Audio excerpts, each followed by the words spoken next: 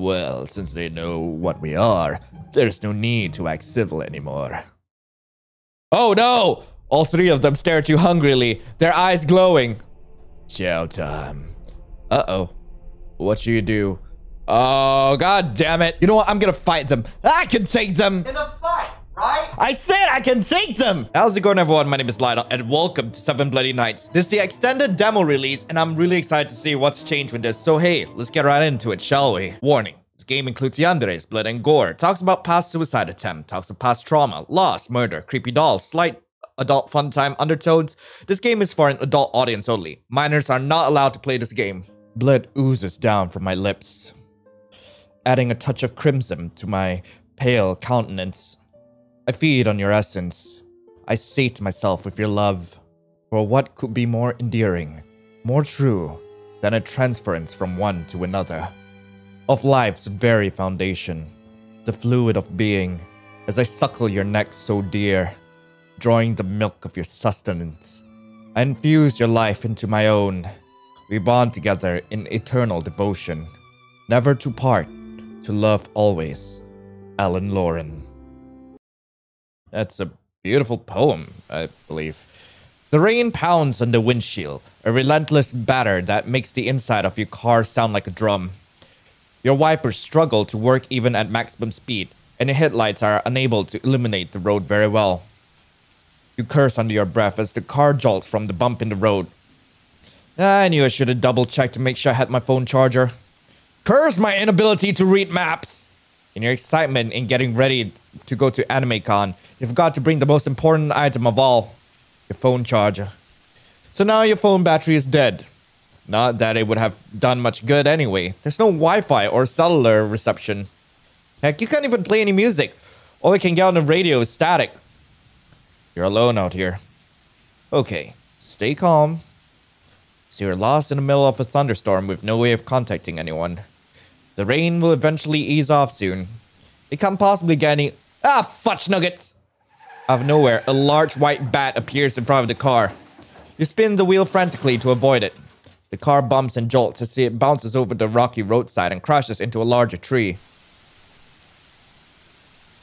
Thankfully, you are unhurt. Shaken, but unhurt. What the heck was that bat? What's a large white bat doing out here? There aren't any zoos nearby. You took a deep breath, trying to calm yourself down. Right now, that wasn't important. What was important is that your car is completely busted. You took hold of the key and twist, hoping that by some miracle it will still work. But that hope was dashed when the starter coughs and sputters and dies.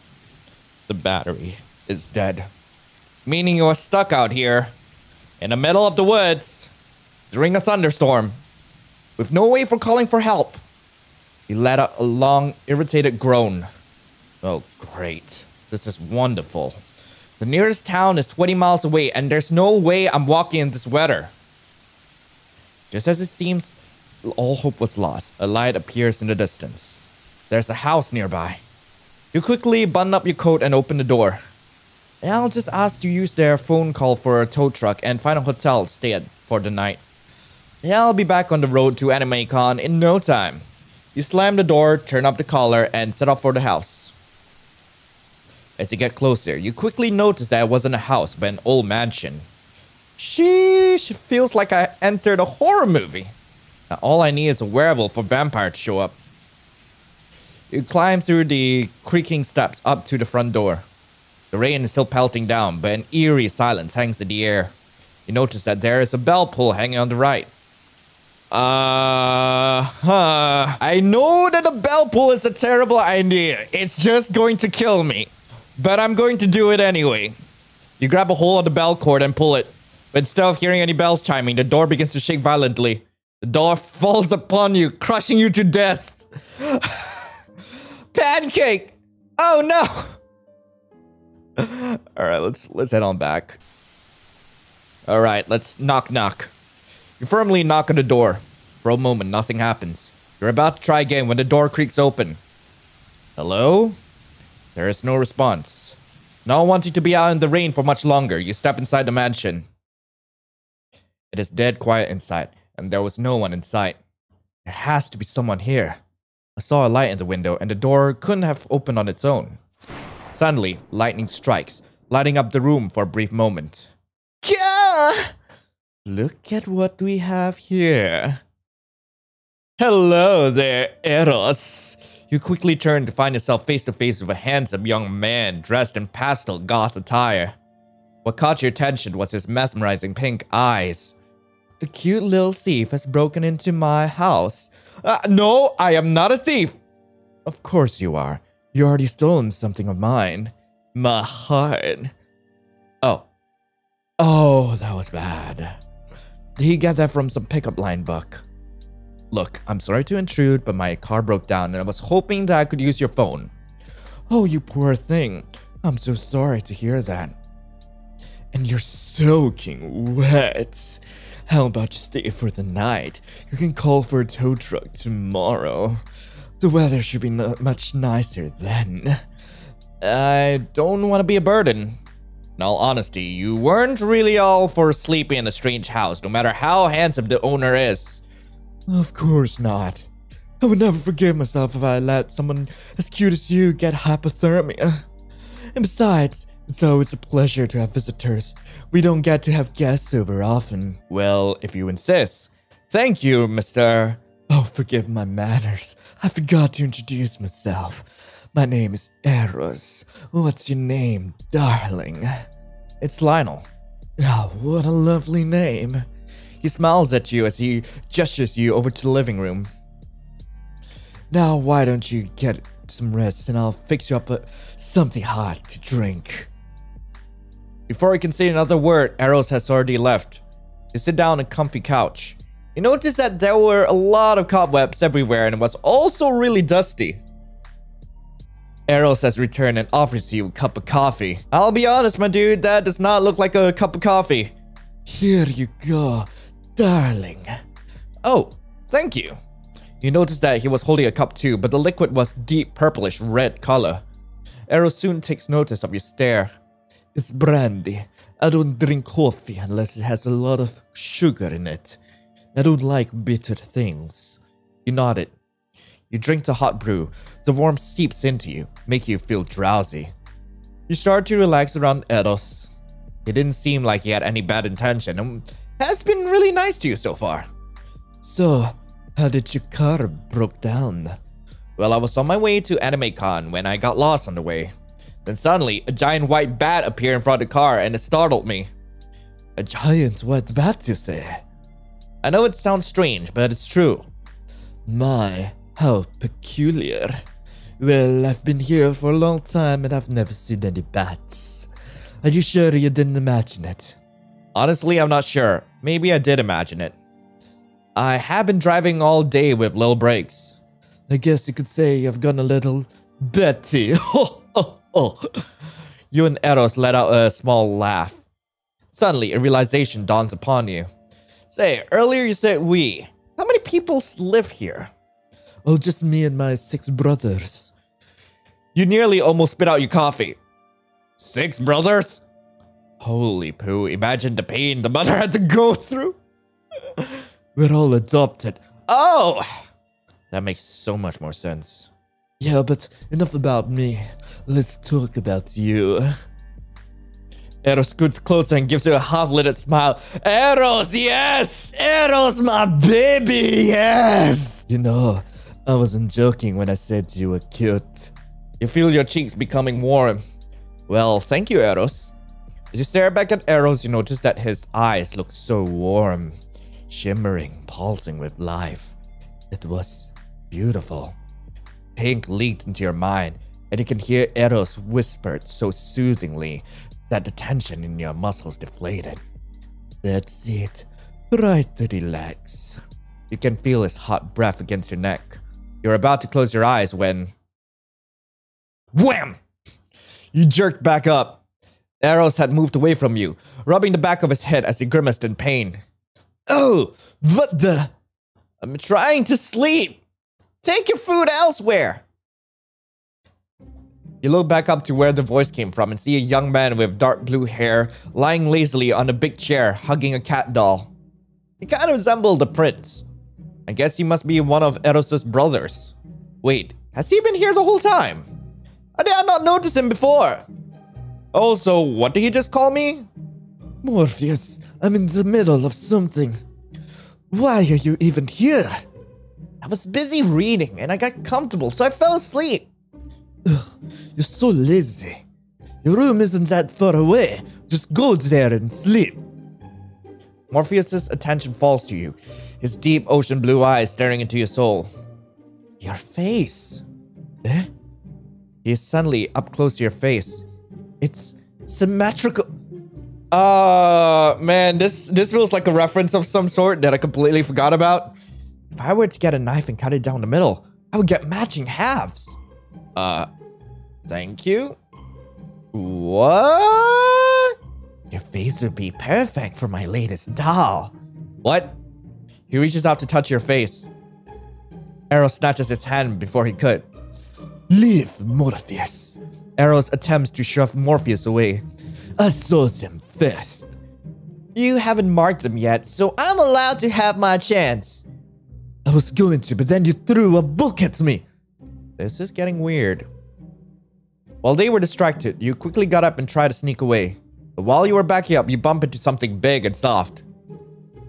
Yo, my dude! Well, well, well.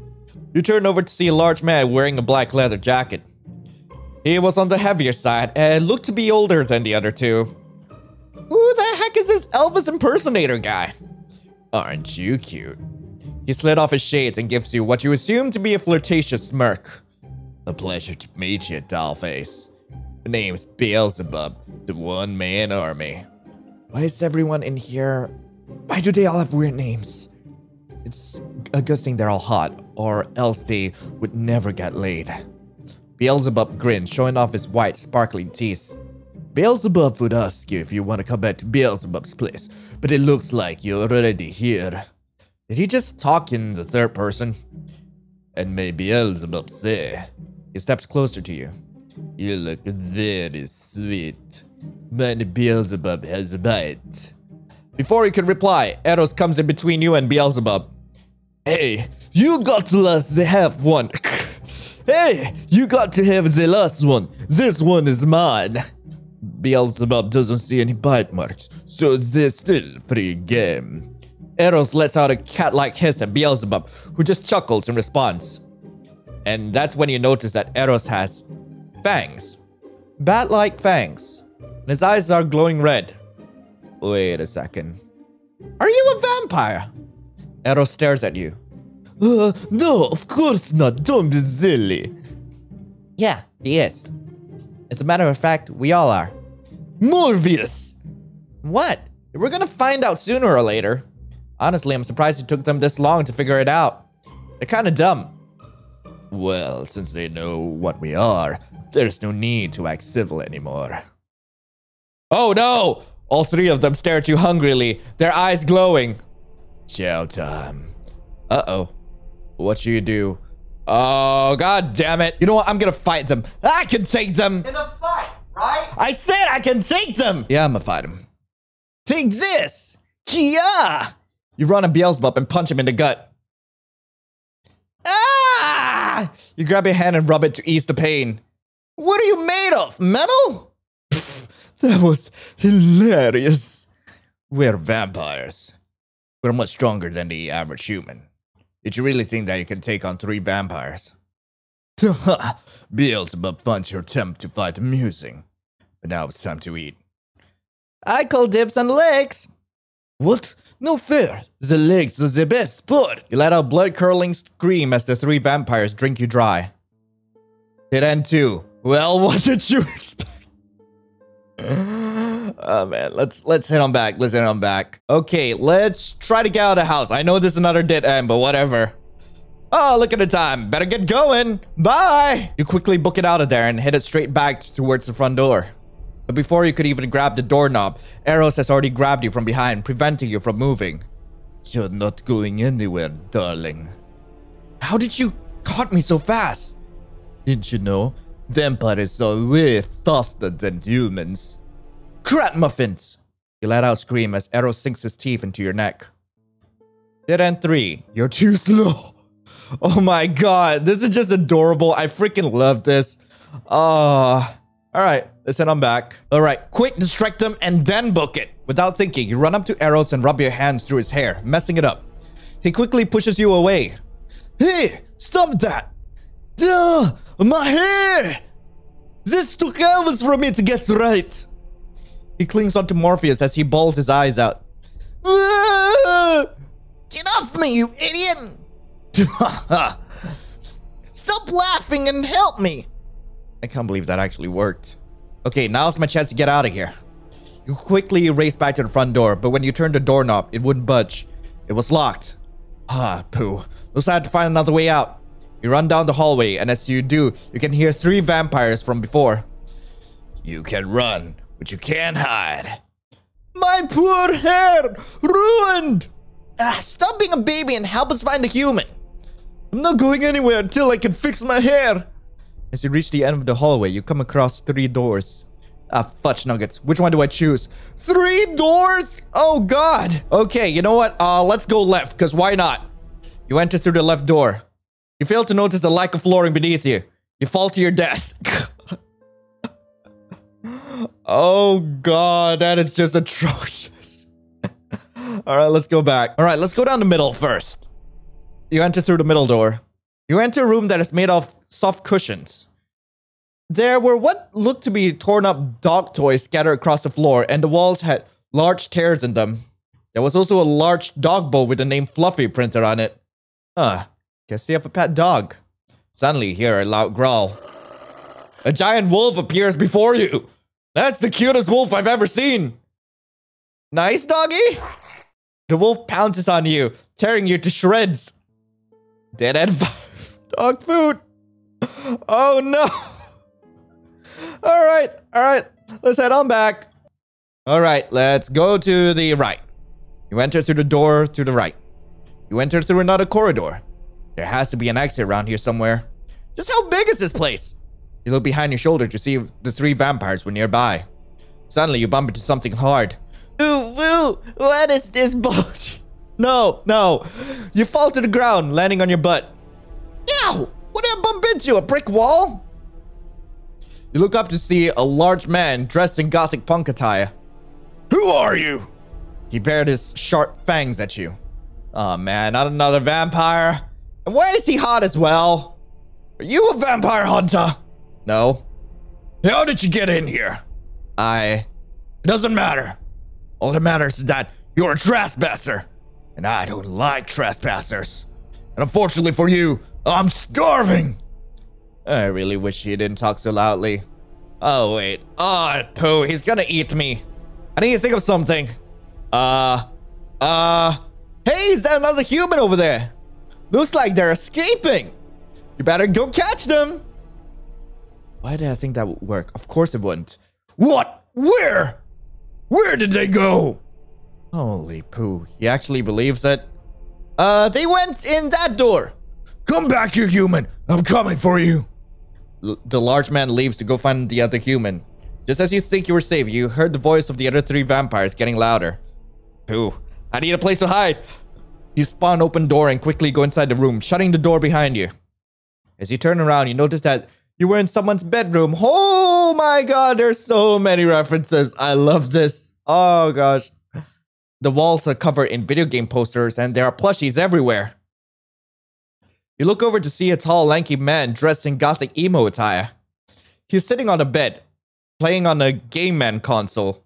Ah, fudge nuggets. How many vampires are there in this house? Uh, I don't think he's noticed me yet. Maybe I can sneak out. Just as you were about to turn around, you hear a squeaky toy noise. You look down to see that you've stepped on a plush toy. Ah, fudge muskets. I'm busy! You look back up to the tall man. He let out an annoyed sigh. I'm on the final boss, so buzz off! As the tall man looks up, his eyes go wide and he drops the game. You, you're... Uh, this is it. I'm dead. I'm so dead. You're adorable! Uh, he quickly rushes over to you and squishes your face. Oh, look at you! You're the cutest thing I've ever seen! I'm gonna make you my new best friend. Ah? Best friend? Yep. My name's Phthonus. What's your name? Uh, I'm Lionel. Maybe I can use him to get me out of here. Say, uh, new best friend, you want to go and hang out somewhere? Sure. Where do you want to Oh, no, no, no, oh no. Just then, the large man from before comes barging in. Oi! Phthonus, Hand over the human, help me find the other human. The other one is a real sneaky one. I can't find him anywhere. What? No way! They're my new friend! Back up, Ares! I said, hand him over! No way! They're mine! Phthonus wraps his arms around you and he uses his body as a shield. Can this get any worse? What's with all the yelling in here? I just had to say it. Eros takes notice of you and smiles. Oh, Phthonus, you captured the human. Great. Now please, hand them over. Phthonus shakes his head. No way! They're mine! Mine! Mine! Oh, no. Eros lets out an annoyed sigh. You're not gonna make them your pet, are you? You know they never last long. Wait, what? They're not a pet. They're my friend. And I'll make sure to take good care of this one. Phthonus hugs you even tighter. Can't breathe. You're already about to kill him. I'm gonna struggle, because I know the other one's gonna lead me to a dead end. No thank you. You squirm around and even try to kick Phthonus to escape. He soon takes notice of this and lets you go. As soon as you are out of his grasp, you book it out of there, leaving the three vampires behind. And there they go again. You idiot! Why did you let the human escape? They needed to breathe, Ares. Your legs begin to ache. I can't keep running forever. I need to find a way out and fast. You start to lose hope when you notice a glow in the distance. It's an exit sign. Ah, the exit. You run even faster towards it. Wait a second. Mansions don't have exit signs. Before you knew it, you were suddenly up in the air, hung upside down by a rope. Wow. Just wow. A man emerges from the darkness. He's dressed up in a techno-punk attire. I think you're the first person to ever fall for that. And most would easily recognize that this is a trap, but... He chuckles. You actually fell for it. You're a special kind of stupid, aren't you? That's cute. Your cheeks heat up in embarrassment. He smirks. His eyes travel up and down your body. Name's Mammon. What's your name, bunny? It's, uh, Lionel. Charmed. I'd love to take you back to my lab. You would make the perfect cute little guinea pig. The way he stares at you makes you shiver. You really don't want to know what kind of experiments he has in mind. But Hubris wants to talk to you. Who's Hubris? Instead of answering your question, Mammon cuts rope you drop to the ground and hit your head, knock you out instantly. Sometime later, you wake up. Your head is throbbing in pain. You try to move, but you're tied down to a chair. You hear the six vampires arguing with each other. Come on, just a little bite. Beelzebub is hungry. Just their scent alone is making Beelzebub go mad. No can do, big guy. We don't do anything until Hubris says so. I hope Hubris will let me have their face. It's perfect for what my latest doll needs. Well, he better get here quick. I still need to find that other human. Ares, there is no other human. Oh, I uh, knew that. Ah, my perfect hair. Ruined. This wouldn't have happened if you guys just let me have the human. Come down, you big baby. I'll help you fix it later. Well, I hope Hubris let me keep them. I even made a friendship bracelet for them. No offense, String Bean, but I don't think Hubris is gonna let you keep them. You're a terrible pet owner. Also, that's not a bracelet, that's a collar. Don't call me String Bean! They're not a pet, they're my friend. My friends would have lived longer if you guys didn't drain all their blood when I'm not looking. Hmm, true. But most of the deaths were caused by you. Remember that one time when you took your previous best friend kite flying during a thunderstorm? Don't remind me! I'm, I'm still trying to find all their pieces. Is it really my fault I forgot humans get killed by lightning? Uh, excuse me. They all stop talking and turn to look at you. Uh, listen, I'm really sorry for trespassing at all. Uh, how about you guys just let me go when I never come back? Deal? No can do, bunny. That's Hubris's decision. Suddenly there's a loud creaking noise. Speak of the devil, here he is now. A man in elegant Victorian clothing enters the room. He was much older looking than the rest and had an aura of dominance. He walks up to you, staring you down. How did you find this place? Uh, my car broke down and I noticed a light coming from your window, so I came here for help. Does anyone else know you're here? I'll, uh... Best tell him the truth, I guess. Yeah. No, no one knows I'm here. Hubris looks over to Mammon. They're telling the truth. What? How did you know? I can read minds, Bunny. Special vampire ability. Well then, we can go ahead and dispose of them. Wait, what? Wait, please, don't kill me. I'll do anything. Streams of tears runs down your cheeks. Hubris stares down at you. Anything? Yes. Hubris ponders for a moment. Very well. The other six look at Hubris in shock. Wait, seriously? Well, this got interesting. I'll allow you to live on one condition. You must clean this entire mansion before one week is up. If you succeed, I'll let you go. Fail, and you'll have all your blood drained. You want me to be a cleaner? Yes. As you can see, this entire mansion is filthy. Because the certain six are too lazy to clean it. Hubris glares daggers at the other six, who awkwardly avert their gazes. And I have been having trouble finding someone else who would do it for me. So, do we have a deal? I don't have much of a choice, do I? No. Unless you want to go ahead and be ripped to shreds. Where's the uniform at? Hubris snaps his fingers and the rope binding you disappears. Follow me. Hey, it's me, the creator. Thank you so much for playing my game. I hope that you had fun. Night 1 for Eros, Morpheus, and Beelzebub will hopefully come out in February. Again, thank you for playing and have a great day or night. Bye. All right, so that was Seven Bloody Nights. They did add a couple new scenes. They updated a lot of the sprites, and it seems the engine has been changed as well. So hey, we might be able to expect uh, more content coming out real soon. If you guys want to play this game for yourself, link to the game is in the description below. And please do abide by the author's wishes. Minors, please do not interact with the game, okay? Anyway, thank you guys so much for watching. I hope you all have a lovely rest of the day, and I'll be seeing you in the next video. This is Lionel, signing off. Ciao.